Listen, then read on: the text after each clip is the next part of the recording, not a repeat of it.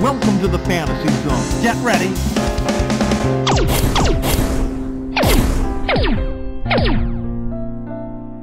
you